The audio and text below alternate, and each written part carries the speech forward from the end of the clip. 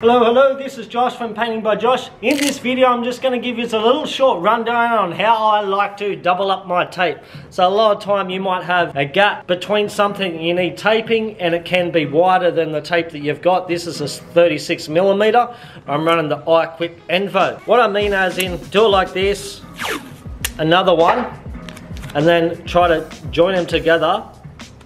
It can be a bit of a pain in the ass. Don't get me wrong, it works, but easier way. Grab your thing, break it off, just join it.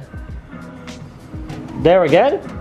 And when you pull it, not sure if you can see, see how it will double it up.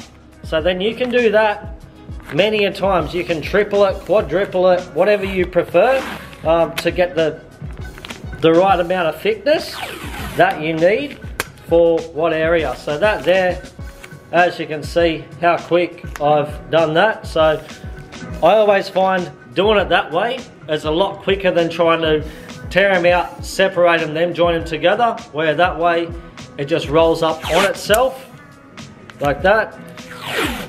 And there we are. Quick little tip on how I like to double up or triple up my tape depending on how wide the gap is that I need to tape up. I hope this all helps. Appreciate you all tuning in. Give us a like, subscribe to our channel, and we'll keep on pumping out these videos, y'all.